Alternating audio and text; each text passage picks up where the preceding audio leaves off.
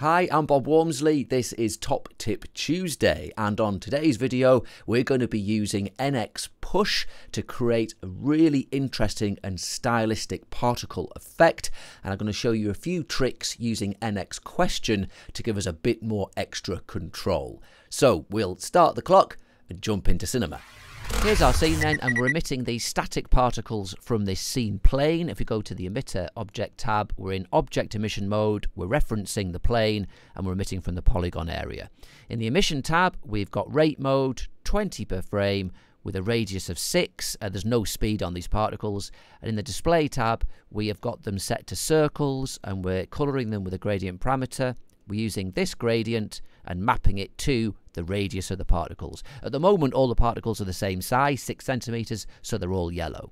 So first of all, we're going to push these particles apart. So let's just make that plane invisible, and we'll go to the Nexus menu, and we'll bring in an NX push.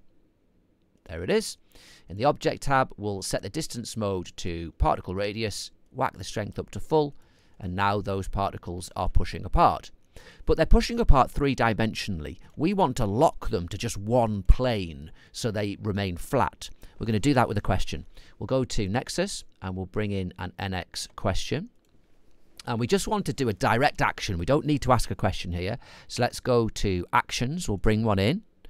The default is to set color. We don't want to set the color. Let's change that. We want to set the velocity. And what we can do, we can just make sure that all of these velocity vectors, x, y, z, are all on zero. And now what's going to happen is they're going to be locked to that plane that they're emitted from. And as long as our emitter object, in this instance our plane, as long as this is on an exact plane, so it's in kind of increments of 90 degrees, let's look change the pitch to 90, flip it up. As long as we're in that exact plane, we can change it to any uh, plane axis and it will remain two-dimensional. Excellent. Let's put that back down so it's flat. Hide the plane. Now we're going to start dynamically changing the radius values of our particles, which will give us some nice push animation. So let's go to Nexus, Object. We're going to bring in an NX scale. We're going to the operation. We're going to use a fall off, set by fall off. And let's switch off this clamping. We don't need that.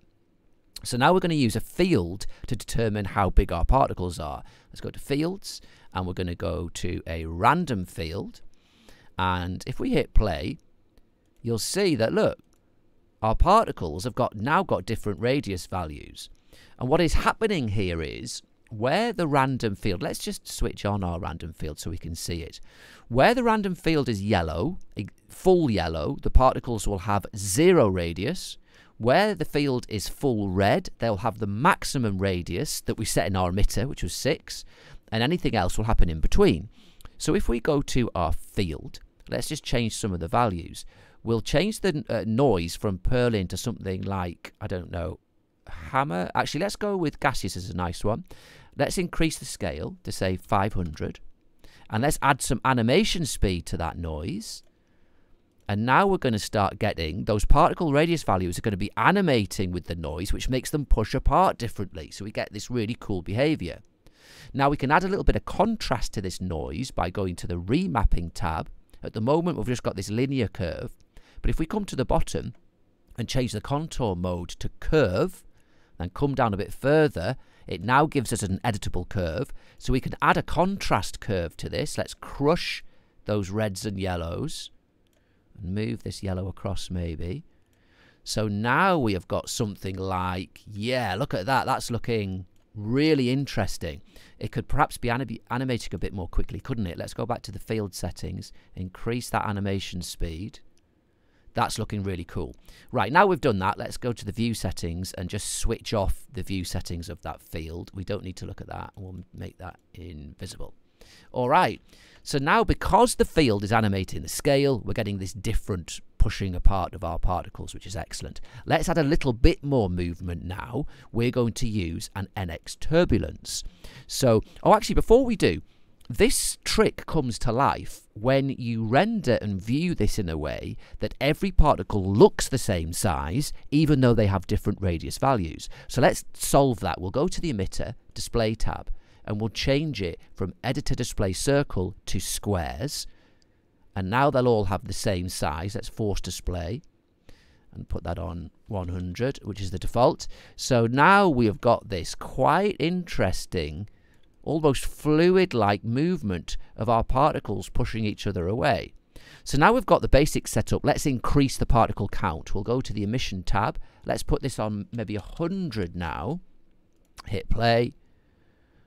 Yeah, we're getting something that's looking really cool, quite trippy. Let's add that last bit of movement. We're going to go to Nexus. We're going to bring in a turbulence. The turbulence, we're going to bring it underneath the question so that it can move our particles around. But if we hit play, you're going to see that we've broken that axis lock. So in the turbulence, we need to make sure that in our um, case, we don't want any Y movement on the up and down. Okay, then let's hit play again. So now we've got that lock back. We're going to change this turbulence type. Let's change it to curl. And we can maybe put the strength up. Let's put the scale up a bit. Maybe we'll put the frequency down. And we're going to reduce this blend. And let's just see what we get with that. Yeah, we're getting a really nice curling of those particles. That looks very nice. So let's go to our emitter, display mode. We'll put it on the even smaller display of dots and then let's increase the amount of particles up to say 200 so even more now. And we've got this really cool trippy movement of our particles. And you get a really cool effect. Watch if I switch off my turbulence watch what happens bang and then we get this awesome growing of these particles as they move their way outwards. So you can have a play around with all the various settings of the turbulence um, and the push to get different looks. But that is the basics of how we lock that push movement and how we create this nice trippy fluid animation.